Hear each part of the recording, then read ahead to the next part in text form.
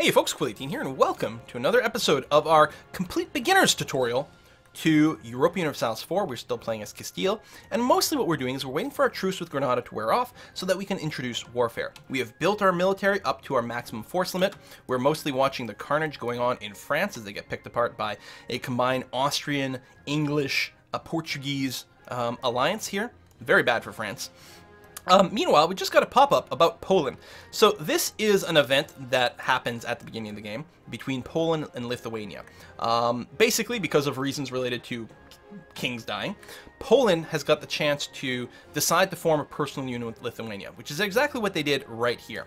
So now, if we check Poland, they have they lead a personal union with Lithuania. Lithuania is effectively just part of Poland right now. And in fact, if that relationship continues for um, several years, that will actually be true, as Poland can form this sort of Commonwealth thing with Lithuania.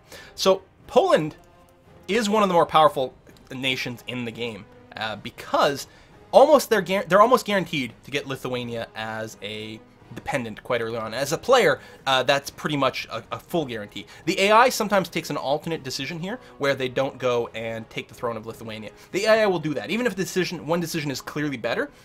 To make the game more interesting and varied, uh, the AI, when those decisions come up, they're literally programmed at, with a certain percentage. 90% will, of the time I will take this decision, but 10% I'm going to take this one. Not because it's better, just because it'll lead to more variation and make things a little bit more interesting. Same thing happens with the Iberian Peninsula, where Castile and Aragon can get married together. Um, the AI will sometimes not take it. It's literally a 90-10 split. I don't know about the Polish thing, but I know with the Iberian wedding, it is a 90-10 split uh, as to whether they take it or not. And it just it's just there to shake things up and make things more interesting. Okay, pause, pause, pause, pause, pause, pause, pause, pause, pause. Oh. Okay. Aragon has declared war on Navarra, citing subjugation. They have a CB to go and vassalize Navarra. We are allied to Navarra. I'm going to bring the speed down to two. We are allied to Navarra. My God, this this this uh, little tutorial is not going to go any way the way I thought. We're allied to Navarra, so they're calling us in. So, right now, oh my God, they're in three separate wars, which is fine because it's not going to be us fighting here. There are three separate wars, but we're only getting called into one of these because these other two, uh, Navarra is one of the, the lesser participants in the war, so that's, that's going to be a non-issue. But Aragon has gone and declared war on them. And it looks like Naples and Savoy have indeed joined in the war. But Portugal has not. And that is true. Technically, they're fighting Portugal in another war. If I were to accept if I were to accept, I would be fighting Aragon, Naples, and um, and Savoy. We know that for sure. We don't know if Portugal will accept the, the offensive call or not. They may or may not. And unfortunately, my allies wouldn't be called in because this is Navarre that's being called in. They're only allied with me as well. I'm their only ally. So it would be me against all those things. Wow. This is a new player tutorial, and as such, I'm going to give you... I think we could actually win. Because we do outnumber the Aragonese uh, army considerably. We probably could just go and smash them quite early, assuming we don't attack poor, poor territory. Unfortunately, if they go and park themselves in Navarre, that's going to be annoying, because that is mountains. But we could just go and start sieging their stuff. Um, what's equally annoying here is that we wouldn't be the war leader. And therefore, I don't think we'd be able to negotiate peace the way we want. Okay, so what I'm going to do is I'm going to say, I, I, think we probably could win, and maybe uh, the, the right, you know, most, like, win the game harder way will be to go and accept this war and join in. But it is perfectly fine for you to decline one of these call to arms. We will lose 25 prestige, which does hurt, I'm not going to lie. But this does not look like a good war for us. And if a war does not look very good, don't take it. We are not going to get any of our allies in here. We're going to be fighting Aragon and all their allies. Navarro is going to be on our side, but who cares? And I, I don't like this. I don't like these odds. So I'm going to decline.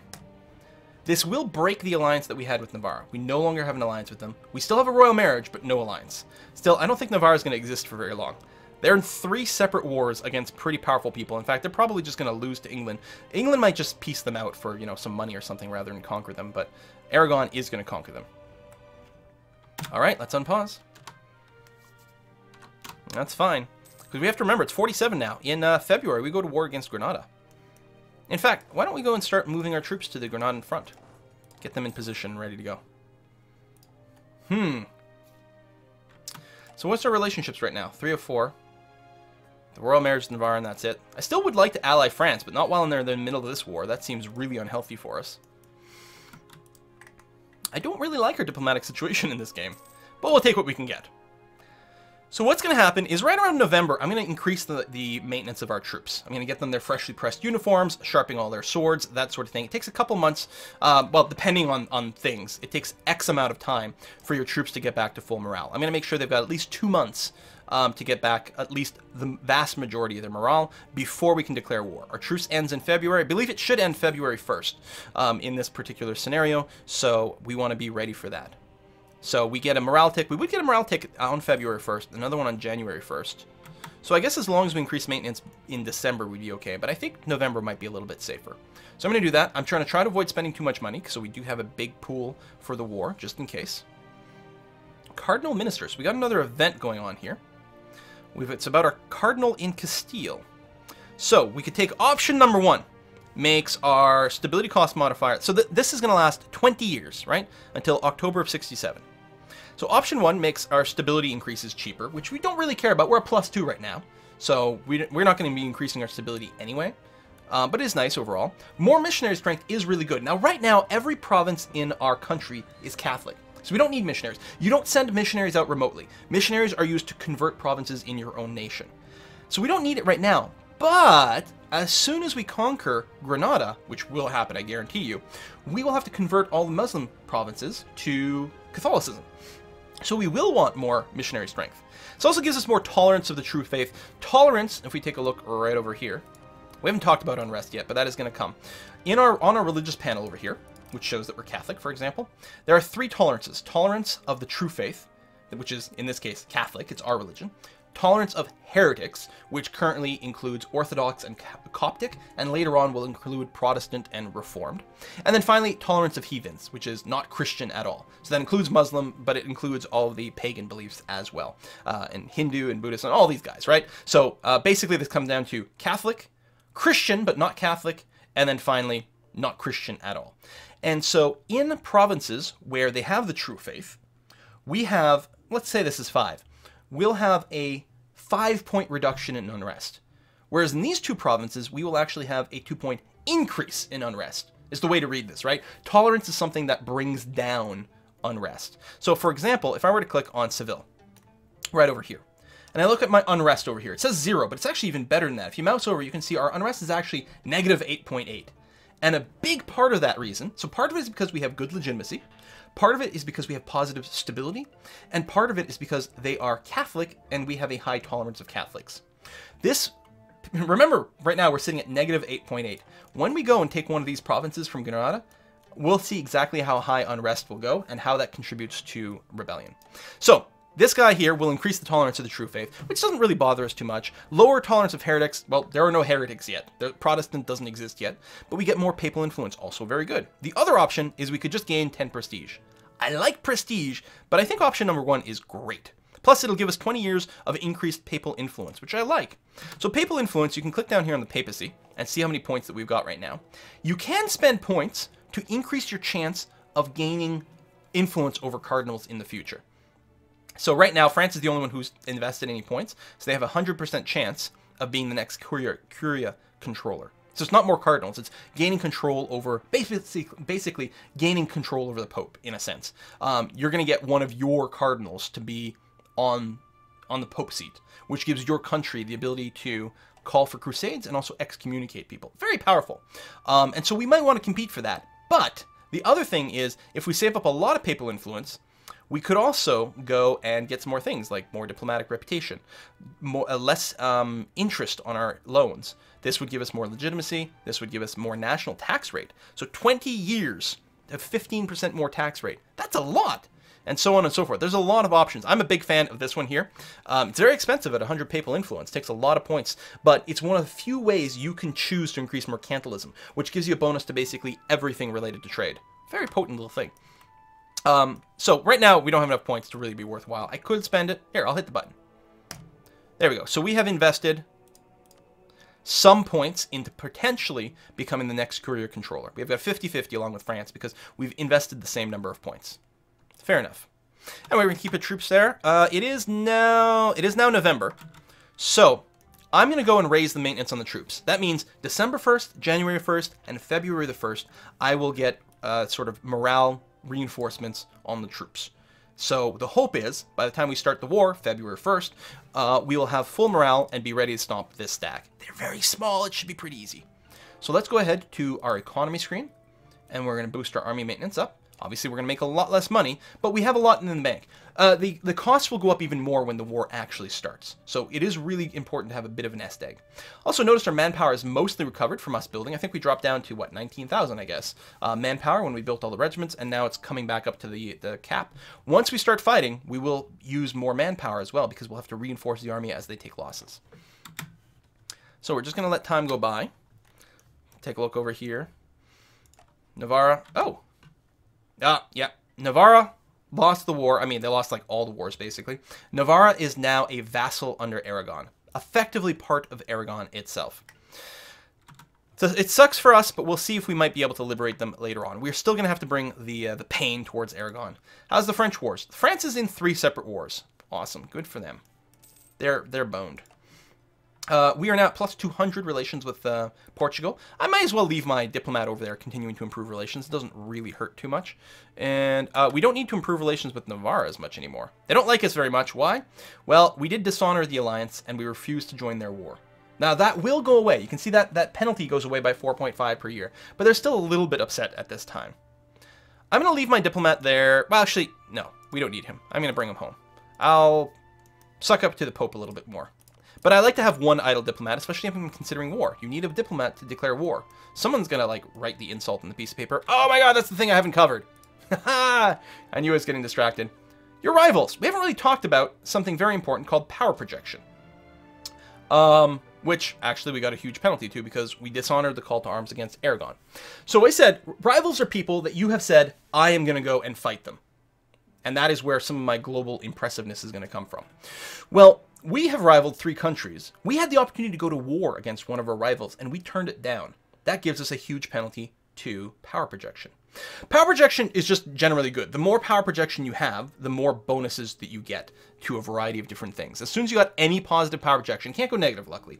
As soon as you got any positive power projection, you get a variety of bonuses. And there's certain breakpoints. If you get up to 25 or higher, you can have another like general or admiral without upkeep, which is nice. If you get to 50 or more, you get plus one of all three power points. There's different ways to get power projection. Typically, it's by, you know, actually fighting wars and winning against rivals, and here we, we did sort of chicken out here. Um, but the other thing we can do, and I should have done ages ago, especially with Aragon, is you can embargo them. So embargoing them reduces their trade power in a node. I'm going to issue this, and then I don't remember if it updates right away. Aragon's got a little bit of trade power over here. There we go. So you can see Aragon used to have, I guess, plus 3% uh, extra trade power here in this node. But because I am embargoing them, they've got a 21% penalty to that, giving us a total of negative 18. So they have less power projection here because I am embargoing them. I'm not letting their merchants work here very well. Very powerful tool. If you embargo someone who's not your rival, for example, if I were to embargo Portugal, I would also lose um, uh, percentage trade power here. So that's not a good idea. But embargoing everyone you hate is great. So every three days here, I'm going to go ahead and embargo the rest. Now, the others, England here, for example. Um, and who's the third one? Oh, and Burgundy. Neither England nor Burgundy are doing any real trade in Seville. So embargoing them doesn't really help. Um, it doesn't really hurt them. But what it does do is it does build a little bit of power projection. Of course, we are still at zero because we have that huge negative from not um, declaring war or not answering the call to arms. But that will eventually show up as a thing. You can also get a few points if you just send someone an insult. Dear Aragon. Oh, I can't because I just sent you someone. Hold on. Oh, oh, it's February 1st. Truce expired. Oh, and I can send something to Aragon. Um, Dear Aragon. Oh, and we're not at full morale. Interesting. You smell like poo. Send an insult. That would give us an extra 5 power projection. Fades off um, after 5 years. So those are ways you can boost your power projection. Here we're still negative, but there you go. We're going to have to wait 2 days for our diplomat to come home. And there we go. He is home. It's the 3rd of February. We have no truce going on with Granada. So we're going to right-click on Granada. We're going to go to Declare War. And we're going to declare war. It's worth noting the Papal States, neither Papal States nor Portugal will join in. Uh, Papal States consider us to be this to be too far away and not interested to join in, whereas Portugal um, currently still has a truce with Granada for another year. So it's going to be us alone against Granada and their ally of Tunis. We can absolutely take these guys. Um, we're going to want to do something with our fleet. So there's a few things. You know what? Let's go ahead and declare war. That's fine.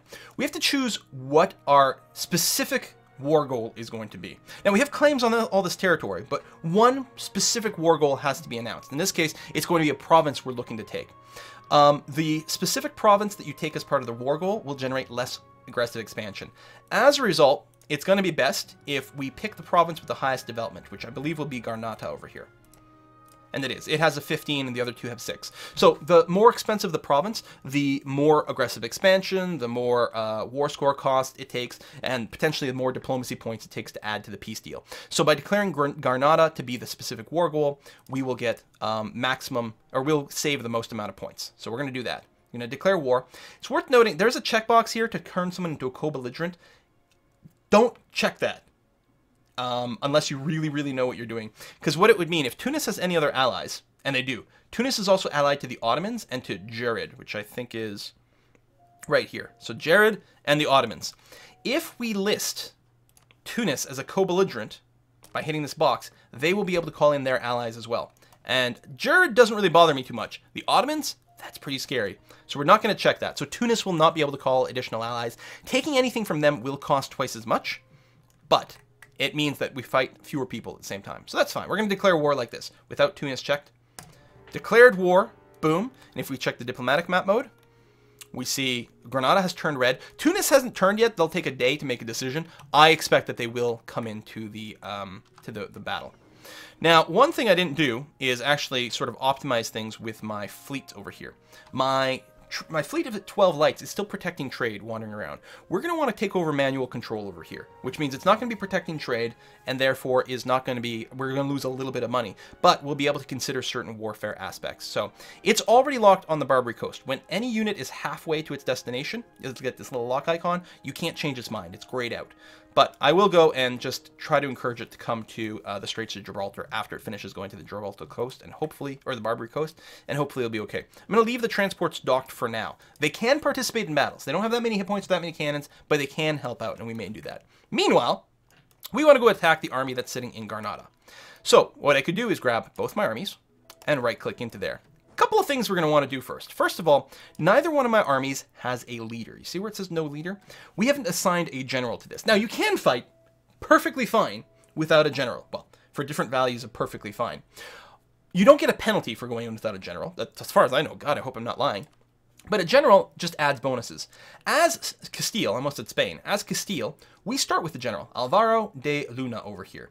And he's pretty good. What do these dots mean? More dots, more better. The first two categories here basically give you, make this guy do more damage in combat. This is again the fire phase and the shock phase. They alternate back and forth um, every other round. So both of them do come into play, although shock is considerably more important at this phase in the game. How do you can tell that?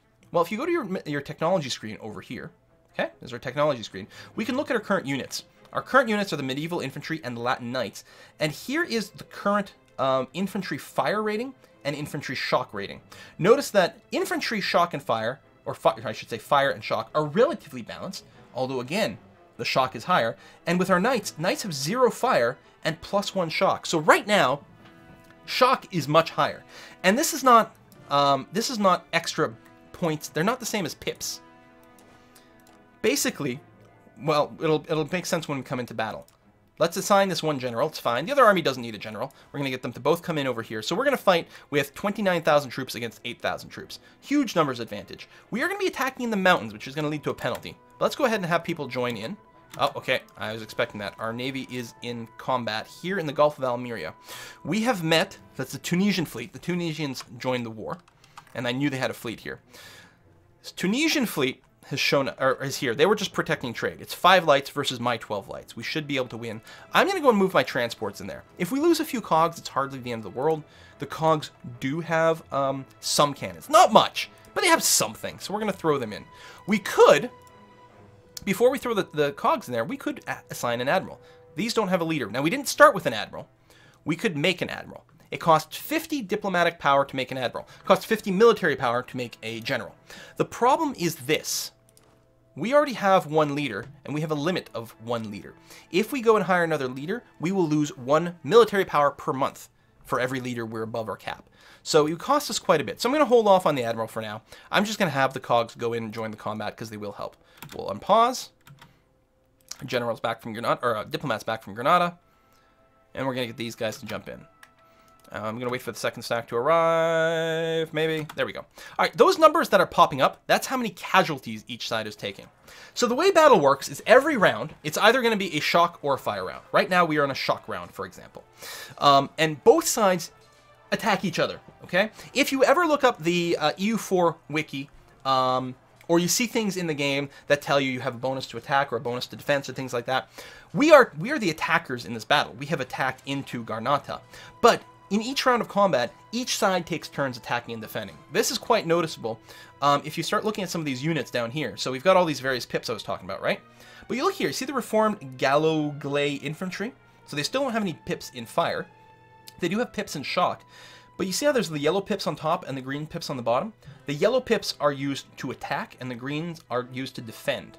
But it's important to remember, no matter if you are the, the true attacker or the true defender in combat, you use both stats. You're constantly attacking and constantly defending in combat, so both pips matter, okay? Um, so how does combat work? Every round, both sides roll a die. I rolled a 6, which is amazing, and they rolled a 1, which is poor. Uh, it goes, it's 0 to 9 is the die roll you can end up with. So they rolled very poorly, and I rolled relatively well. In addition to that, depending on the phase, you add the pips from your, your character. So they have zero shock. I have two shock. Two minus zero is two, which is why we have a two over here. Okay, so it's a difference. If they had one pip of shock, then this would have just added one to my die roll. If they had a shock of four, then they would be getting plus two, while I would be getting no bonus whatsoever. So it's the difference in shock, because it's the shock phase right now, gets added to the die roll. So now it's like we rolled an eight, but we are attacking into the mountains. Mountain gives you a minus two on all your rolls. So we're back down to a six. It's a six versus one. We got a better roll, which is good. As a result of that, we um, you take your your difference in your rolls effectively. There, there's the complicated math, but what you can sort of imagine is you take your difference in your total rolls, and then add your your in this case your shock from all your units together, and you multiply it by a magic, and you end up with a total number of casualties. And so if I pause again, I'm going to go at speed one. Every day there'll be another little boom. There you go. See, they just lost almost 600 people. We still lost 232, even though we are outnumbering them more than four to one, and they have no morale, and they are rolling quite poorly compared to me. This is the same the same roll here. Both sides lose casualties, including my side, because they are attacking back at the same time. Now, every time you do this and it calculates a certain number of casualties, those casualties then get effectively multiplied by your base morale, or sorry, so if I inflict, say, a thousand casualties on their side, that thousand casualties will be basically multiplied by my base morale, and that will be used to inflict morale damage on them. The higher your base morale is, and the more casualties you inflict, the more morale the other side loses. So by having more morale, A, you have more morale hit points, but B, you actually deal more morale damage. The other two stats here are much simpler to explain. Discipline makes you kill more people. Tactics means you lose fewer people. As a result, tactics or discipline leads to more casualties, which leads to more morale damage. So discipline, very, very powerful. Um, and Tactics means you lose less people, which means you take less morale damage. So again, tactics very powerful. Also, uh, high discipline actually increases your tactics as well, which is pretty potent. So all these stats are very important in combat, as well as just pure numbers and other leadership things. Bigger numbers tend to work better, but now I hope you have a little bit of understanding of like how you might be able to use the numbers a bit better. Attacking to the mountains like this, very bad. You almost never want to attack in mountains, except we had such a massive numerical advantage that it was okay. But if this was even numbers, we would have lost. It's worth noting the naval battles work exactly the same. I wasn't looking at the um, the combat results there. Um, but the naval battles effectively work the same. Plus, there's sort of like a maneuver thing that happens. We have defeated the um, the Tunisian navy. We actually sank one and only one of their ships, and the rest went away. Actually, we didn't sink it. We captured it. We have an extra light ship. Congratulations, folks! And we didn't lose anything at all. Fantastic. So we earned a little bit of war score doing that. We're going to revisit that in a moment. Um, I'm going to tell this fleet to just come back over here. So my fleet is still going to go to the Barbary Coast first, and then it's going to pop back here, and I'll get it to combine up with our transport ships. We're going to watch the end of this battle. Should be almost over. They're about out of morale, and indeed they are. Okay, so I keep saying, keep lying to you. Um, when an army runs out of morale, it retreats. That's certainly what happened to the Tunisian fleet. The Tunisian fleet had lost, or one ship had been captured, and then it, it went away. At least I think so. Uh, yeah, it did. Um, when an army runs out of morale, it retreats. It retreats to friendly territory. However, there's a period of time before you can retreat. And I didn't show it on the battle screen, but there's like a little sort of flag in the top left corner of the battle screen. Until that goes away, you are not allowed to retreat. Because the army we were attacking ran out of morale before that flag went away, they never got any opportunity, so we killed slash captured all of them. This also earned us 6.66 war score. What is war score? So you'll notice at the bottom of the screen here, now that we're in a war, there's this little icon at the bottom. It's got the flag of, of um, Granada in here because that's our opponent in the war. And it's got a little 6% under it. Let's click on this. It'll open the war screen. This giving us details about the war. Who is on each side? We are on the left side here, Castile. We've got no allies, so we're alone. On the right side, Granada. It's got the star because they are actually the war leader. They can negotiate for the whole alliance. And then there's Tunis here, which is a secondary combatant in here. And they're not a co-belligerent, so we can't ask for as much stuff. We got some other stats, including their current war enthusiasm, their war exhaustion, and a few other things like that. That can give you a bit of a breakdown about how things are going. Then we've got this thing. This is the war score. War score goes from minus 100% to plus 100%. And it's technically mirrored on the other side. So if the other side were looking at this, they'd be seeing this as a minus 6% because we are winning the war and they are losing the war. Winning battles earns you war score. Um, blockading bits. We are blockading. We have a small fleet that is blockading the port of Maria, which is earning us a little bit of um, of war score. In addition to that, when we finally siege territory, which we're going to look at in a bit, we can earn a lot of war score from sieging territory. Um, sieging forts gives you a lot more war score. Sieging places without forts are worth very little, but they do siege instantly, which is the big difference. Um, and sieging the capital in particular is very, very, very, very powerful. Finally, there's also the war goal. The war goal is to take Granada. Right now, um, this is worth no war score. Like there's bonus war score for the war goal. So if I were to siege out any random province, I would get war score. And that's still going to be the truth for Granada. But once we actually conquer, once we actually finish the siege of Granada and occupy it, in addition to the war score of Granada itself, we will get a ticking war score. It ticks a little bit every month, and it caps out at plus 25. So in addition to the actual value of sieging Granada in general, because it's the war goal, we'll get even more war score as a result of that. So we got our army here. It's currently sitting in Granada, and it just finished the battle. We actually have to wait one day before we can do anything. We actually like can't do anything with it. it doesn't respond to any commands whatsoever. We just have to wait one day. There we go. It's the 19th. So now we have a big stack of troops sitting in Granada. I'm going to go and group these two together. Let's take a look at our numbers. We still have 19 regiments of infantry, but only 17,812 people. And we still have 10 regiments of cavalry, but only 900 and 9,602 cavalry. So a lot of our regiments we can see here are no longer at full strength. They don't have a thousand people in them anymore. Some do. They, they probably didn't even get in the fight. And others who were at the front line took some damage. So what we can do is we can leave them as is. They will um, reinforce.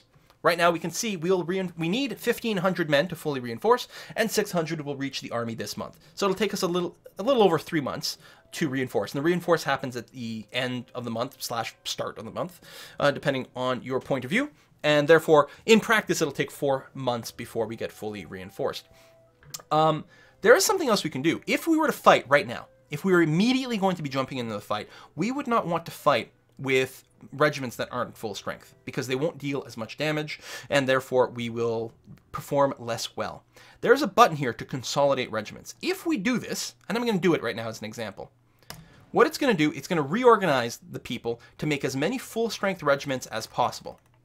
So we went from 19 regiments to 18. Basically what it did is it eliminated one regiment, and then the people from there, it redistributed amongst all the other regiments um, to bring them up to 1,000. And we didn't have quite enough to fill them all out. But we so we have the same total number of infantry here. They're just organized differently so that we have more of a solid front line, which is great. Now that we've done that, let's talk about attrition. We are above the supply limit of this province. This province has a supply limit of 18, which is a little bit lower than uh, some of the other ones because it's a mountain. Mountains don't have as much supply limit. And currently, we have a, a unit weight of 25.4. How do we have a unit weight of 25 when we have a little over 27,000 troops here? The reason is generals with maneuver, in addition to doing a variety of things, actually lower the the effective um, unit weight of an army to make it um, to make it use up less supply. So that's what's happening here. That being said, we're still going to lose 4.1% of our army every single month. That's a lot of troops here.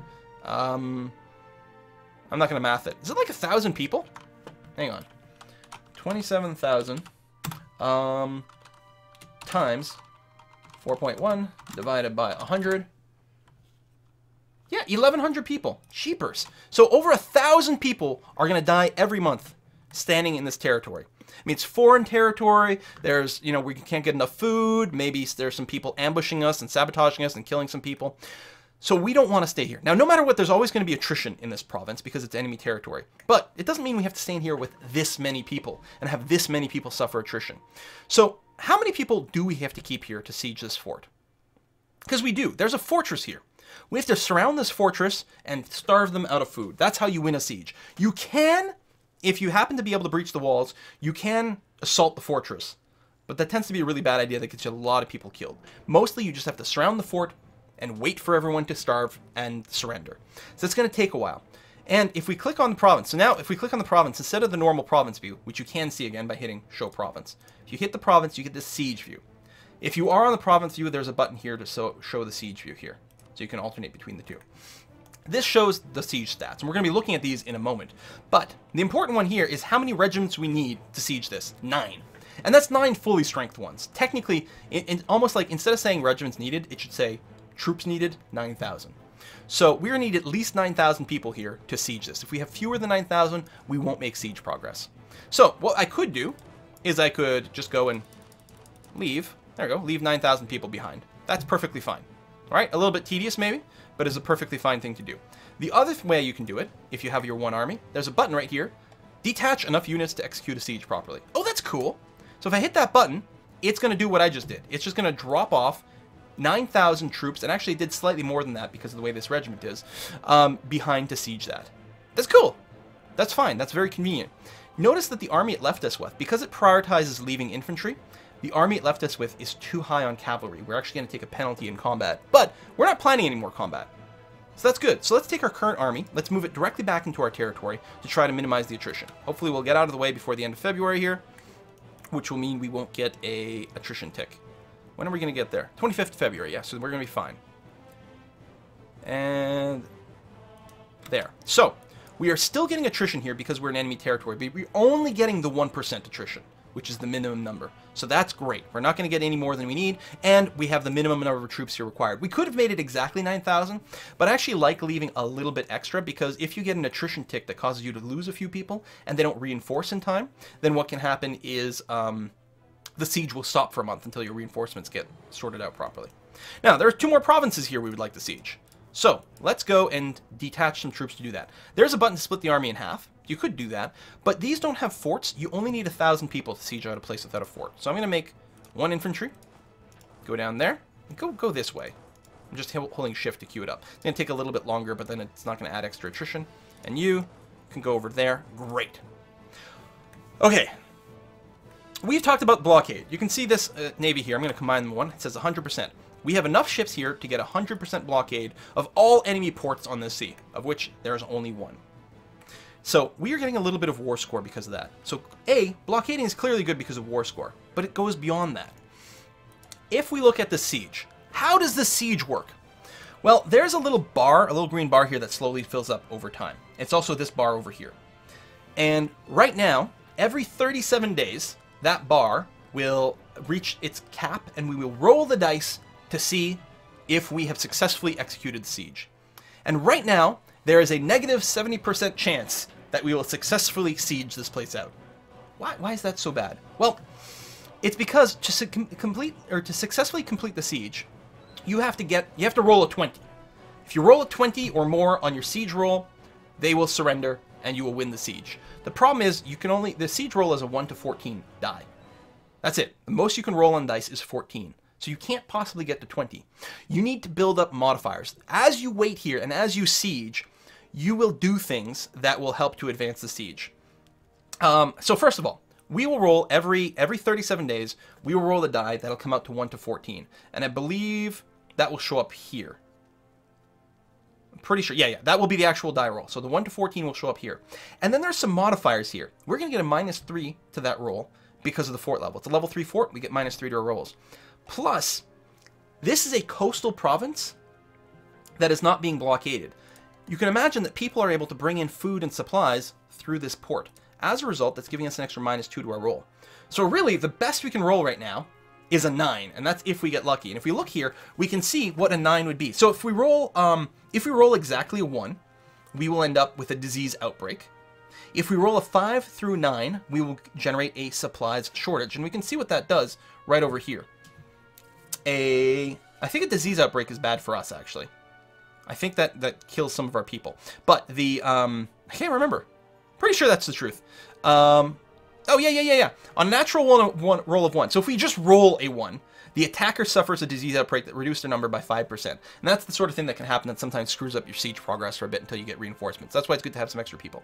So if we roll a 5 to 9, and we know because of our, our minus 5 rolls, we on our 14-sided die would have to roll a... Um, a 10 to 14 to end up in there, which is why there's a 35% chance that we'll get the supplies shortage. But if we get that, then we're going to get a modifier over here that gives us plus one to our future rolls. And this can keep stacking up. If we get supply shortage over and over and over, I believe it will keep stacking up. There's a cap. This uh, The whole thing here can only add up to a 12 in total. Okay? But it can get there. And then the things later on that currently we can't get, but with a few pluses we can get a chance to develop. Then we're going to get food shortages, water shortages, all these things will start to help out with the siege and, and progress it further until we've got enough plus modifiers on our side. But can we get rid of that minus two? Absolutely. If I take my fleet and I blockade the Straits of Gibraltar, and I'm going to do that, I'm going to move my whole fleet over to the Straits of Gibraltar, and once it arrives, we'll be blockading that. So I'm lifting the blockade of uh, Maria over here because I don't particularly care about it. I think it, it doesn't matter. It's actually, we're going to siege it in a second. It doesn't have a fort, so we're going to instantly siege this thing more or less. So then we don't need to blockade it. But by going over here, now we have 100% blockade of actually technically both Garnata and, well, this is going to be Gibraltar. It's what? Jabal Tariq over here. We're blockading both, uh, both ports. If there are a lot of ports and a lot of development, you need a lot of ships to get the job done, although this fleet of 23 is pretty darn potent. Notice some of our ships are damaged, and they do not repair at sea by default, so keep that in mind. Now that we're blockading Garnata over here, we have eliminated that minus 2 penalty. Notice our percentage chance, it's still negative, it still can't happen, but it's not as bad as it used to be. And now, we have a 50% chance, instead of what it was, a 36% chance, to get a supplies shortage on our opponent. So let's go ahead and go to speed 4 for a bit. Okay, maybe speed 3. 4 was a bit fast. And we're just going to wait for that to fill out. There we go. There we go. So we got a siege tick. I actually missed the little pop-up.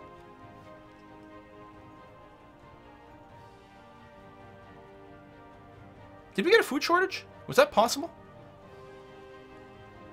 Yeah, I, I totally missed the pop-up. You guys can rewind and check to see what that was. But we now have a plus two to this roll. So presumably got that. Well, it must have been. Can more than one thing happen? I don't think so. But now, oh, we actually, oh, we rolled a natural 14. So we got a wall breach as well. Oh, fantastic. So every time you roll a 14, um, pretty sure that's true. Does it say in here?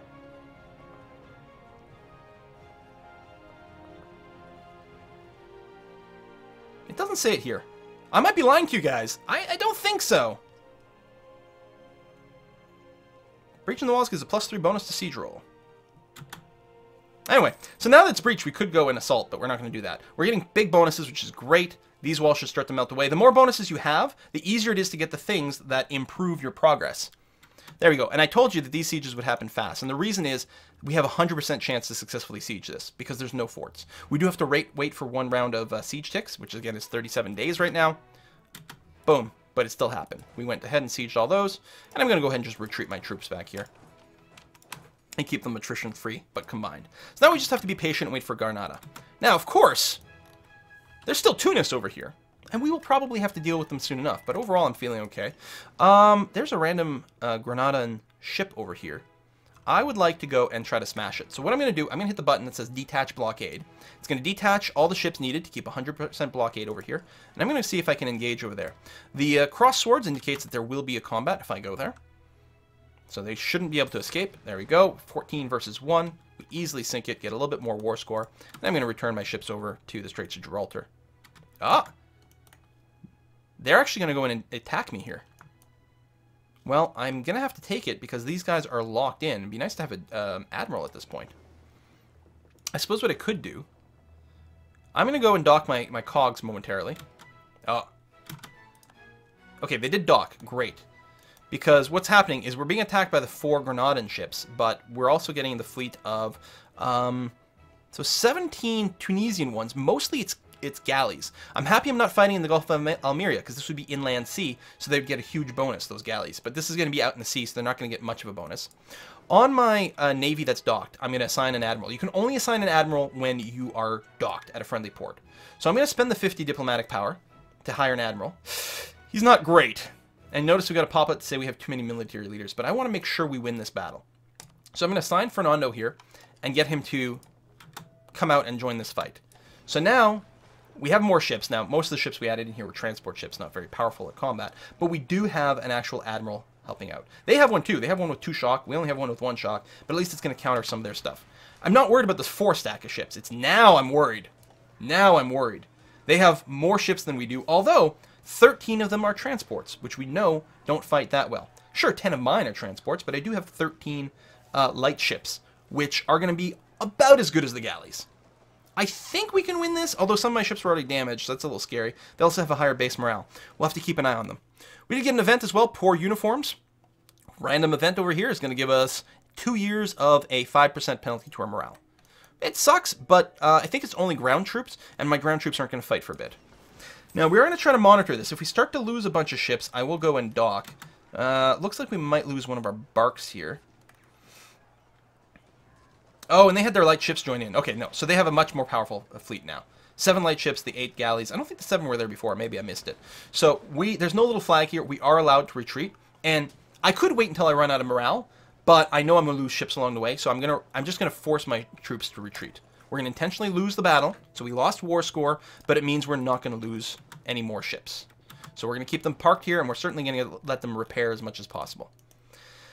Downside to this is we are no longer blockading so the siege of Granada is going to take longer. Meanwhile, we're being blockaded, so we're going to lose um, a little bit of war score from that blockade. But maybe when our ships get fully repaired, we'll pop back out again. It depends on if the Tunisian fleet moves or not.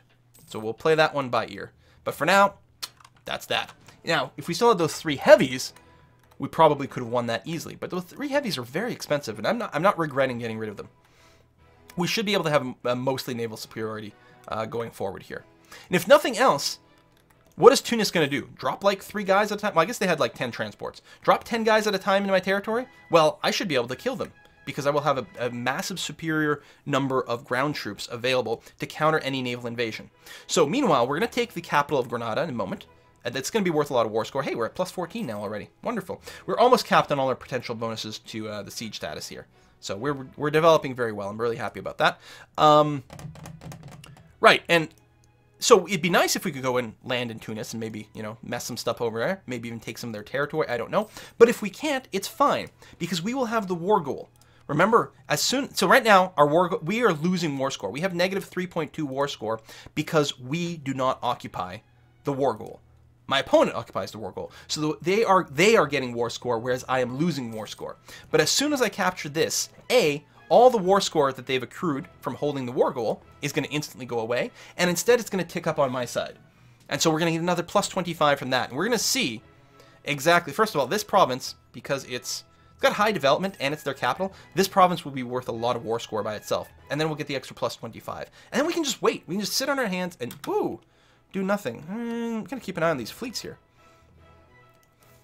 I don't know what I'm going to do with my diplomat, because he's not going to be busy for a while. I'm going to send him over to Morocco. We're going to fabricate a claim on Tangiers. I think that's going to go beyond uh, what this tutorial will end up covering. But we know Tangiers is in the Seville trade node. It's Tangiers and Melilla. We would love to control both of these because it would give us more trade power in this trade node. In particular, Tangiers is a coastal center of trade. It's a very valuable province, and we would love to grab that. But right now we got nothing to wait. I'll go up to speed 4. So every 37 days, right now we're at a 21% chance of successfully completing the siege. It's not negative anymore. So, okay, we failed. Defenders uh, retreated, but it didn't give us an extra plus. We're also getting a little bit of gold over here. Every province has got a certain amount of lootability um, over here. And just by having troops in an opponent's territory, even if you're not successfully sieging it, you will go and um, loot the province a bit. Oh, I can call Portugal in my war. That's interesting. See that? Portugal would be willing to join the war at this point. Interesting. Even though they're still technically in another war, but I guess they're winning. They'd be perfectly happy to jump in. I am going to go ahead and call that in. Because... Eh, interesting. I think that might be lying to us. I'm worried if I send this, Portugal might say no, and that'll break our alliance. I'm going to wait another month, make sure that that's, like, true here. March 1st? No, the still says they're willing. Alright, I'm going to send it in. We'll see. I'm a little concerned, I've got to be honest.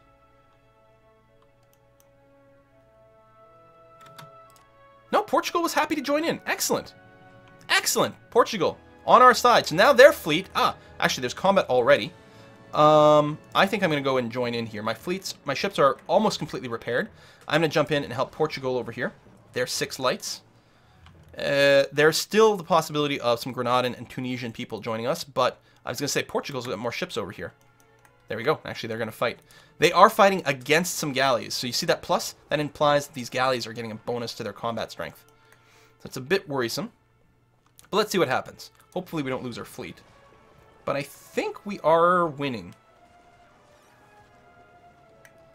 And there we go. Portuguese won their battle, and their ships are going to come and reinforce over here. They've also got a godlike general. Oh, actually, the Tunisians decided to run rather than fight the um, the army. Cool. So now we can resume our blockade over here, which is going to give us more chances.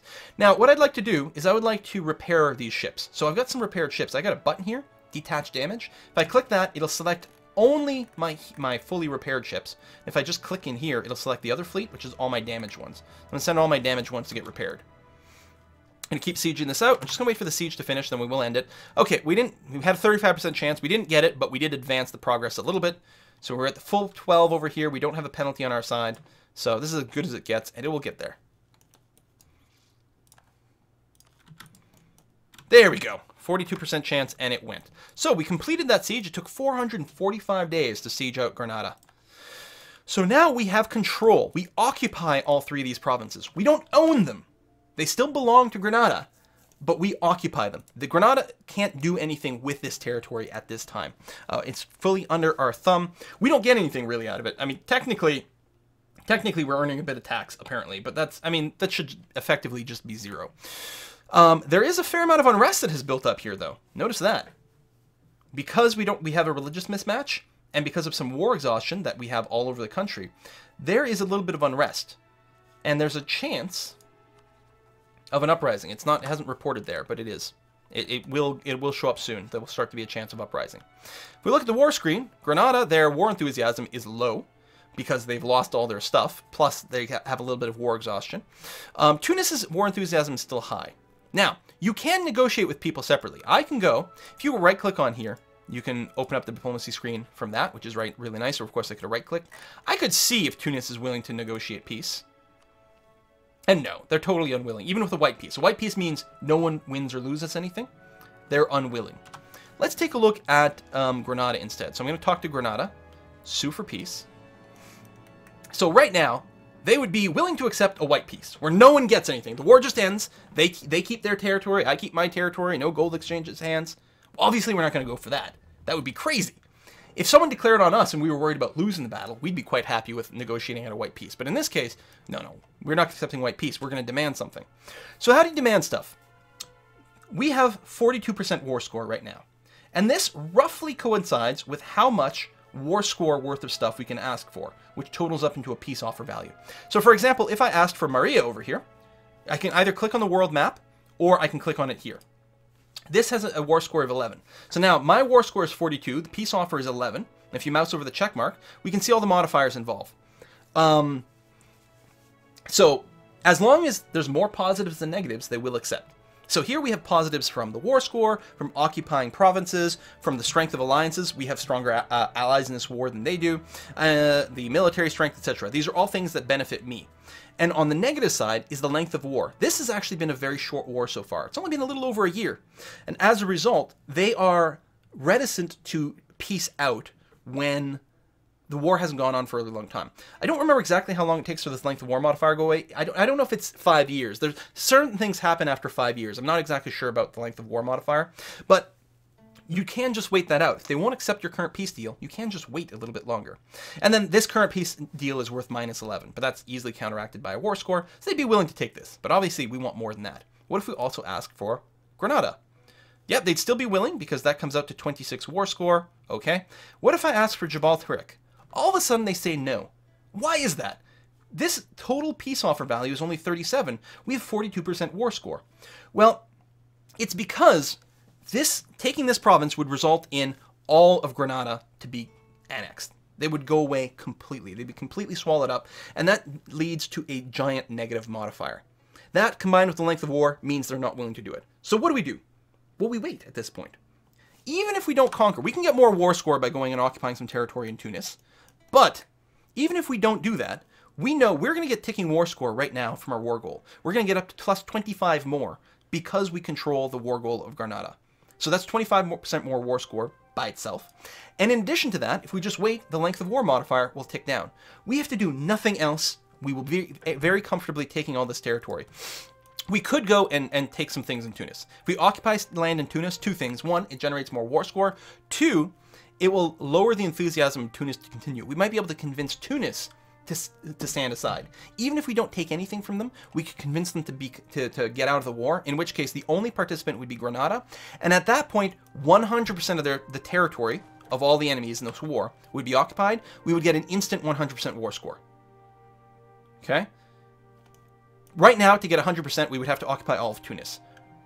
But if Tunis were out of the war, we'd have 100% just by holding Granada.